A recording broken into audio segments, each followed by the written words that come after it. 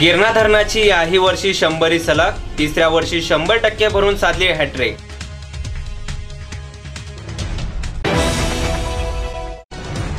कापडणे गटातील महाविकास आघाडीचे उमेदवार किरण पाटील यांना मतदारांचा वाढता प्रतिसाद देवेंद्र फडणवीस यांना ओबीसी आरक्षणावर आमने सामने येण्याचे किरण पाटील यांचं आवाहन.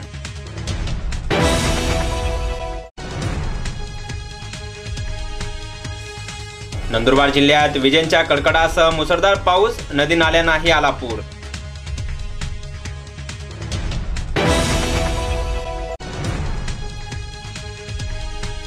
महाविकास आघाडीचे उमेदवार सागर पाटील यांचा तिसगाव दंडाने गावात प्रचाराचा झंझावत.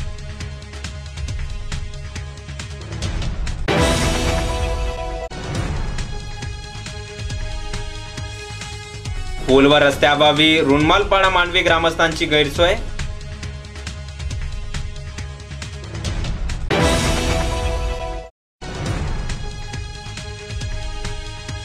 नंदुरबार जिल्हाधिकारी यांच्या आदेशाला धुडकावून सारंगखेडा पुलावरून दुर्तर्फा धोकेदायक वाहतूक सुरू.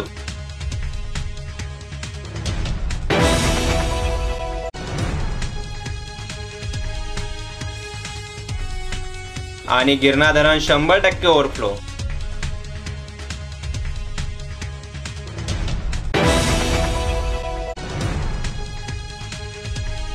अँटी करप्शन फाउंडेशनच्या जिल्हाध्यक्षपदी मोहम्मद इम्रान शेख यांची नियुक्ती.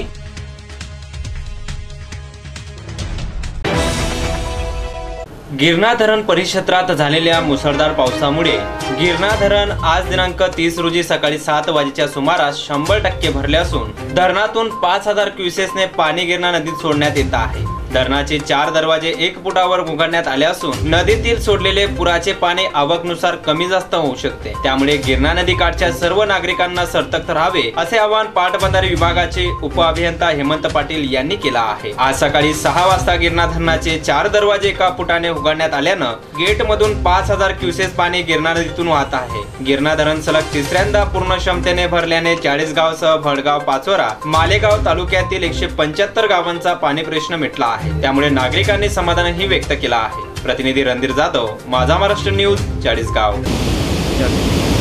नमस्कार मी हेमंत व्ही पाटील उपविभागीय अभियंता पाटबंधारे उपविभाग चाळीसगाव. आज दिनांक तीस सप्टेंबर दोन हजार एकवीस रोजी सकाळी सात वाजता गिरणा धरण हे पूर्ण क्षमतेने भरले असून येणारे वाढीव पुराचे पाणी खाली गिरणा पात्रात सोडण्यात आलेले आहे. आता या क्षणी चार गेट एक एक ठिकाणी उघडून जवळपास पाच हजार क्युसेक्स विसर्ग गिरणा नदीपात्रात सोडण्यात आलेला आहे. तरी नदीकाठच्या नागरिकांनी सावध राहावं. तसेच सायगाव गावाजवळ मन्याड धरणातूनही पाच हजार क्युसेक्स पाणी येत आहे असे दोघे पण जवळजवळ दहा ते पंधरा हजार क्युसेक्स पाणी चांद्यापर्यंत पोचण्याची शक्यता आहे. तरी सर्वांनी सावध राहत पाण्याच्या निसर्गात येणाऱ्या येव्यानुसार कमी जास्त होऊ शकतो.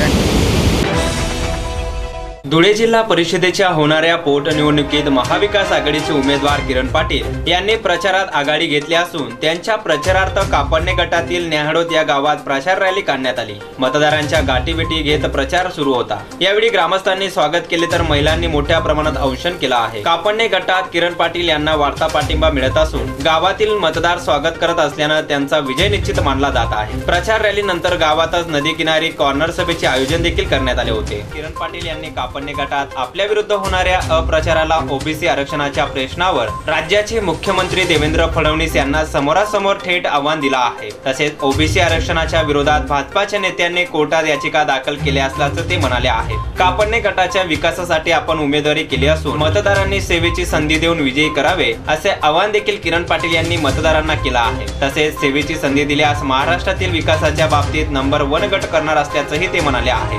जातीच्या माध्यमातून राजकारण करणाऱ्या करणाऱ्यांना येणाऱ्या निवडणुकीत धडा शिकवावा असे आवाहन देखील उपस्थित महाविकास आघाडीच्या नेत्यांनी केला आहे. तर येणाऱ्या पाच ऑक्टोबरच्या निवडणुकीत गटाचे उमेदवार किरण पाटील व गणाचे उमेदवार योगीराज पवार यांच्या घड्याळ निशाने समोरील बटन दाबून प्रचंड मतांनी विजय करून सेवेची संधी द्यावी असे आवाहन देखील किरण पाटील व योगीराज पवार यांनी मतदारांना केला आहे. प्रतिनिधी सुनील निकम माझा महाराष्ट्र न्यूज धुळे. होणाऱ्या जिल्हा परिषदेच्या आणि पंचायत समितीच्या निवडणुकीच्या निमित्ताने आज न्याहाळूद गावामध्ये प्रचार फेरीचं आयोजन करण्यात आलेलं होतं. या प्रचार फेरीसाठी आमचे नेते आदरणीय सुनील तात्या आदरणीय दिलीप भाऊ आमचे मोठा भाऊ सर्व सहकारी या ठिकाणी मोहन भाऊ उपस्थित होते. त्यांच्या उपस्थितीमध्ये या रॅलीचं आयोजन करण्यात आलं होतं. आणि या रॅलीमध्ये प्रचंड तरुणांचा उत्साह होता. एक चित्र ह्या निवडणुकीच्या निमित्ताने तयार झालेलं आहे. या ठिकाणी परंपरागत सत्ता जिल्हा परिषद सदस्य म्हणून यांची होती त्याचं परिवर्तन करायचं आणि राष्ट्रवादी काँग्रेस पक्षाला विजयी करायचं अशा पद्धतीचं विकासाचं वातावरण या निमित्ताने या मतदारसंघामध्ये तयार झालेलं आहे. येणाऱ्या पाच तारखेला होणाऱ्या निवडणुकीमध्ये निश्चितपणाने राष्ट्रवादी काँग्रेस पक्षाचे दोन्ही उमेदवार निवडून येतील यामध्ये कुठल्याही प्रकारची शंका नाही. अशा पद्धतीने आमच्या सर्व तरुण सहकाऱ्यांनी ज्येष्ठ नागरिकांनी या ठिकाणी आम्हाला आश्वासन दिलेलं आहे. मी त्यांचे देखील या निमित्ताने आभार मानतो.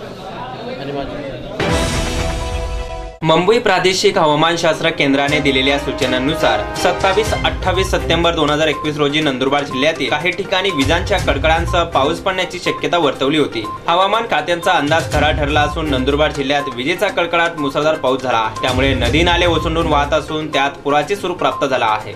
शेतातही पाणीच पाणी साचले आहे. दुपारपासून पावसाने दमदार हजेरी लावली असून त्याचा परिणाम जनसामान्यांच्या दैनंदिन जीवनावर झाला आहे. पावसाच्या जरी इतक्या जोरात बरसत होत्या की रस्त्याने ये जा करणाऱ्या वाहनांना वाहनांना समोर काहीच दिसत नव्हते. अनेकांनी आपली वाहने रस्त्याच्या कडेला उभी केली आहेत. रात्रभर पावसाची सततधार सुरू असल्यानं शहरातील गल्यांमध्ये पाणी साचले आहे. शहादा शहरता पूर्णतः जलमय झाले असून ठिकठिकाणी शासकीय कार्यालयात पाणी शिरले आहे. तर दोंडाईच्या रस्त्यावरील भेंडवार नाल्यातही पूर आल्यामुळे नवीन पोलीस स्टेशन परिसरात पाणी साचले आहे. शहरातील प्रांताधिकारी कार्यालय कोर्ट परिसर व डोंगरगाव रोड जलमय झाल्याचं चित्र पाहावयास मिळत आहे. शहरातील कॉलनी परिसरात देखील मोठ्या प्रमाणात पाणी तुंबले आहे. अति पावसामुळे खेड्या गावांमध्ये देखील डबके साचले असून तर शेतामध्ये देखील पाणी शिरले आहे. त्यामुळे शेती पिकाचे देखील नुकसान झाल्याची शक्यता नाकारता येत नाही. सध्या पावसाचे प्रमाण कमी झाले असले तरी अजून पावसाची शक्यता आहे तरी नागरिकांनी सतर्क राहण्याची आवश्यकता आहे. तर याबाबत नुकसान पिकांची पाहणी जिल्हाधिकारी मनीषा खत्रे यांनी करून घेतली आहे. प्रतिनिधी विजय निकम माझा महाराष्ट्र न्यूज नंदुरबार. कॉल गावातील शेतकरी असून तर आमचं हे क्षेत्र पाच एकर आहे. त्याच्यामध्ये व्ही एन आर आणि गोली प्रकारचे दोन वाण लावलेले आहेत. तर रात्री इतका मुसळधार पाऊस झाला त्याच्यामुळे पूर्णतः क्षेत्र माझ्या पाण्याखाली गेलेलं आहे. ते आम्ही सकाळी पाणी काढलं त्या क्षेत्रातून पूर्णतः क्षेत्र म्हणजे मिरचीच पीक वाया गेलेलं आहे.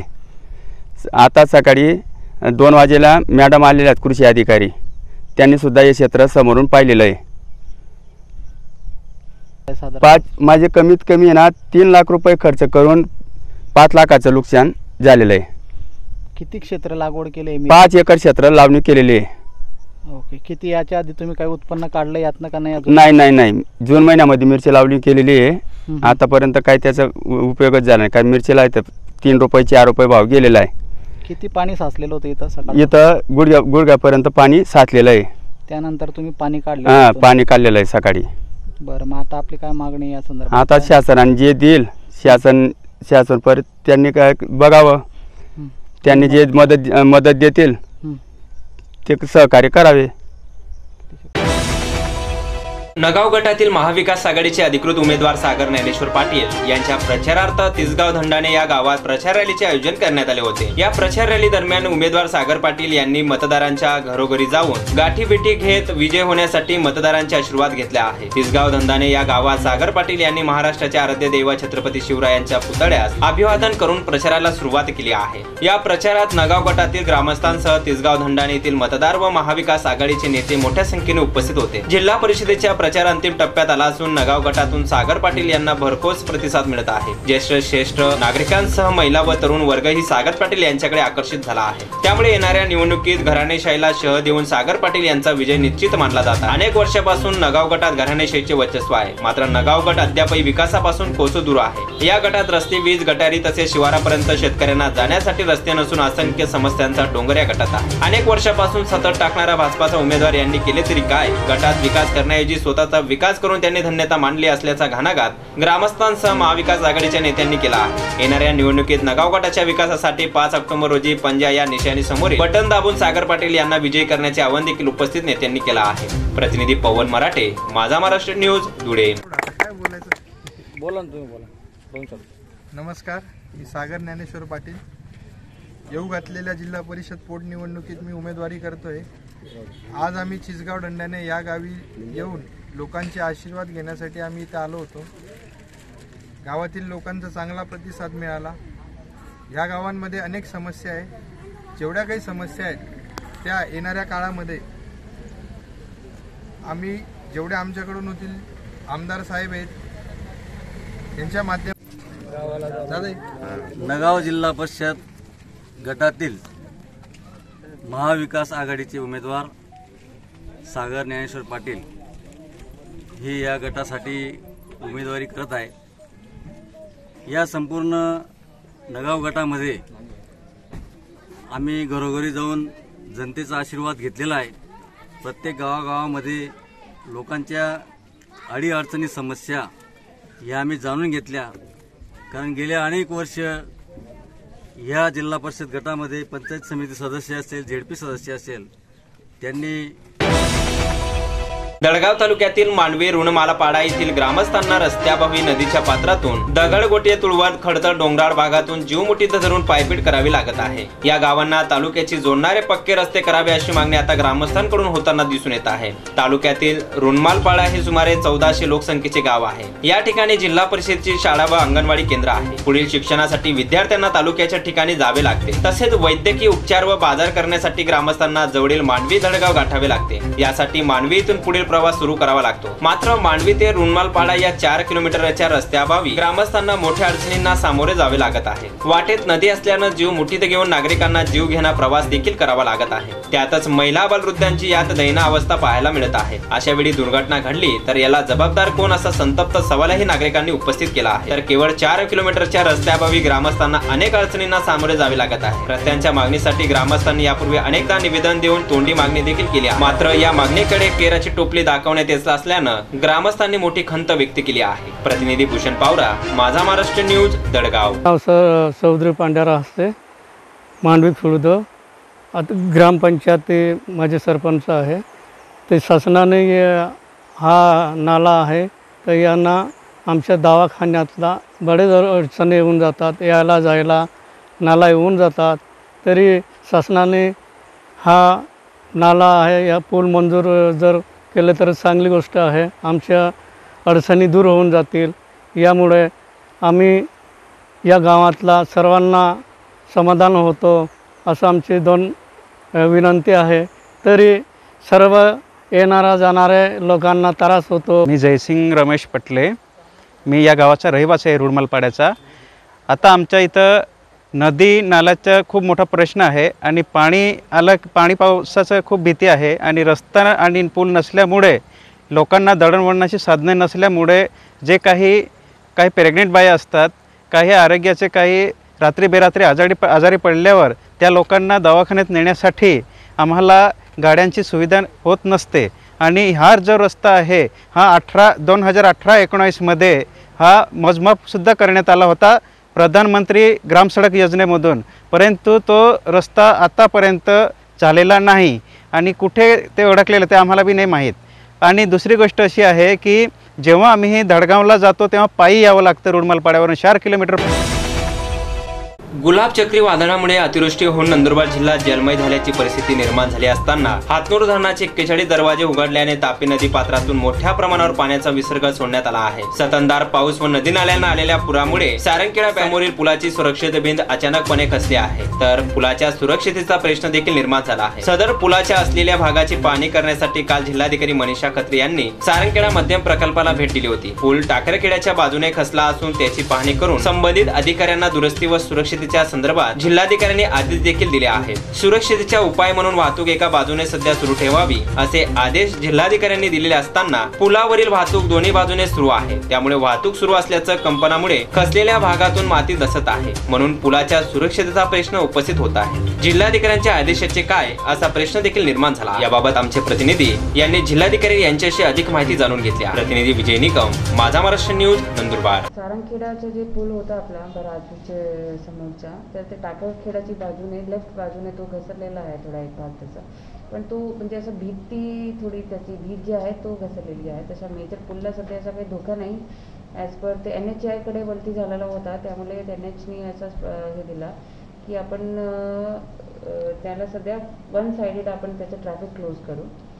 तर आता आपल्या लेफ्ट साईडचे ट्रॅफिक क्लोज करून आपण फक्त राईट साईडचं चालू चालू ठेवणार आणि उद्या त्यांचे एक्झिक्युटिव्ह इंजिनियर पण येऊन पाहणार आहेत. आजचे खालचे इंजिनियर डी वगैरे त्यांनी पाहिला तर उद्या त्याचे एक्झिक्युटिव्ह इंजिनियर पण येऊन पाहिल आणि फायनल डिसिजन बंद करायचा की कसा तो आपण उद्या घेऊ सध्या आपण वन साईडेड क्लोज करून टाकू. काल दिनांक काल जो पाऊस झालेला आहे त्या पावसामुळे सार टाकरखेडा सारंगडा पुलाची एका साईडची जी संरक्षण भिंत आहे ती पाण्याच्या पुरामुळे कोसळलेली. तरी पाण्याच्या पुरामुळे कोसळल्यामुळे जो काय धोका आहे जीवितहानी होण्याची धोका आहे या दोघ जीवितहानीमुळे हो झालेली जी काही नुकसान आहे ती होऊ शकते. त्यामुळे काल नंदुरबार जिल्ह्याचे कलेक्टर साहेबा मनीषा खत्री साहेबांनी एकाकडची रहदारी बंद करावी असे स्पष्ट सूचना दिल्यानंतर आज परत दोन्याकडची रहदारी चालूच आहे. म्हणून प्रशासनाला विनंती आहे की रहदारी बंद करावी जेणेकरून जीवितहानी होऊ नये गिरणा नदीला पाच हजार क्युसेस पाणी सोडण्यात आले आहे. त्यामुळे शंभर टक्के गिरणा धरण भरले आहे. त्यामुळे जळगाव जिल्हा प्रशासनातर्फे जळगावकरांना सतर्कतेचा इशारा देखील देण्यात आला आहे. नदी काठावरील नागरिकांनी नदीत जाऊ नये तसेच गुरेढोरे नदीजवळ नेऊ नये. नदी काठावरील नागरिकांनी नदीत जाऊ नये तसेच गुरेढोरे नदीजवळ नेऊ नये अशा सूचना देखील भडगाव पोलीस स्टेशनचे पोलीस निरीक्षक अशोक गुतेकर यांनी केला आहे. याआधी मन्याड धरणातून दहा हजार क्युसेस पाणी गिरणा नदीत चालू आहे. तर नागरिकांनी सावध राहावे अशा सूचना देखील गिरणा पाटबंधारे विभागाने दिल्या आहेत. प्रतिनिधी Shaikh Shakeel Majha Maharashtra news Badgaon. Dhule anti corruption foundation of इंडियाच्या धुळे जिल्हाध्यक्षपदी मोहम्मद इम्रान अरुण शेख यांची नियुक्ती करण्यात आली आहे. सदर नियुक्तीपत्र अँटी करप्शन फाउंडेशन ऑफ इंडियाचे राष्ट्रीय अध्यक्ष नरेंद्र अरोरा यांच्या हस्ते देण्यात आला आहे. हरियाणा येथे आयोजित क्रांतीवीर शहीद भगतसिंग यांच्या जयंतीचे औचित्य साधून कार्यक्रमात इम्रान शेख यांच्या सामाजिक कार्याची दखल घेऊन हे नियुक्तीपत्र त्यांना देण्यात आला आहे. तसेच ग्लोबल आयकॉन अवॉर्डनेही त्यांना सन्मानित करण्यात आला आहे. या कार्यक्रमात अभिनेत्री उपासना सिंग सिंगर शंकर सानी तसेच शहीद भगतसिंग पुतणे किरणजीत सिंग तसेच पदाधिकारी मोठ्या संख्येने यावेळी उपस्थित होते. प्रतिनिधी पवन मराठे, माझा महाराष्ट्र न्यूज़, धुळे. और मैं धन्यवाद कहता हूँ श्री नरेंद्र अरोड़ा जी को, जिन्होंने मुझे इस काबिल समझा कि मुझे ग्लोबल आइकॉन अवार्ड से नवाजा। अवार्ड मुझे दिया गया बड़ी बड़ी शख्सियतों की उपस्थिति में। मुझे अवार्ड मिला है Shri Bollywood actress Shri Upasana Singh ji, Bollywood singer Shankar Sahni ji और खुद शहीद आज़म भगत सिंह जी के भतीजे किरणजीत सिंह जी की मौजूदगी में मुझे अवार्ड से नवाजा गया। तो मैं सभी हिंदुस्तानियों को, हमारे भाइयों को, हमारी बहनों को एक संदेश पहुंचाना चाहता हूँ कि मैंने जो काम किए और आगे जो काम करूँगा ये अवार्ड के लिए नहीं, मेरा मकसद है कि इस देश से भ्रष्टाचार को खत्म करना, इस देश से करप्शन को खत्म करना, और ये हमारी संगठना anti corruption foundation of India ये हिंदुस्तान लेवल पर नेशनल इंटरनेशनल लेवल पर ये वर्क कर रही है। तो अब उन्होंने मुझे अपना हिस्सा बनाया तो मैं उनका आभार मानता हूँ, और सभी हिंदुस्तानियों से गुजारिश करता हूँ कि जागरूक हो जाए? हमें अपने राइट के हिसाब से लड़ना है। हमें जानना है कि अपने राइट क्या है, अपने अधिकार क्या है। हमें अपने अधिकार को जानना होगा और देश से करप्शन को खत्म करना है। आज कहीं भी जाओ, भ्रष्टाचार हर जगह है। आप किसी भी खाते में जाओ, चाहे डिपार्टमेंटली हो, प्रशासनिक हो, सरकारी हो, भ्रष्टाचार हर जगह है। तो हमको भारत को भ्रष्टाचार मुक्त बनाना है। ये संकल्प लेकर मैं आगे की वाट चाल आगे का काम करूँगा। ये anti corruption foundation of India ने मुझसे उम्मीद की है और उनकी उम्मीद पर मैं खरा उतरूँगा। अभी मुझे गिरणा धरणाची याही वर्षी शंभरी सलग तिसऱ्या वर्षी शंभर टक्के भरून साधली हॅट्रिक।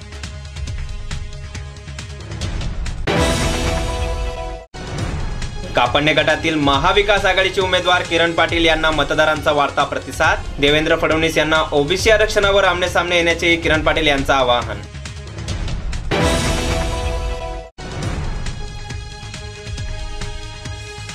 नंदुरबार जिल्ह्यात विजेंच्या कडकडासह मुसळधार पाऊस नदी नाल्यांनाही आला पूर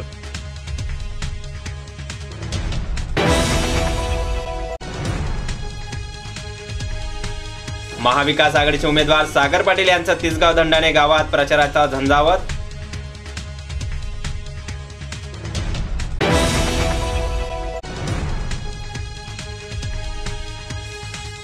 व रस्त्याअभावी रुणमालपाडा मांडवी ग्रामस्थांची गैरसोय.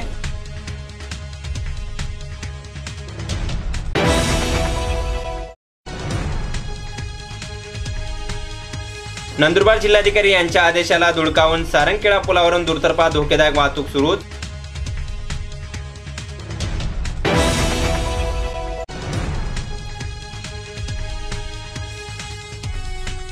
आणि गिरणा धरण शंभर टक्के ओव्हरफ्लो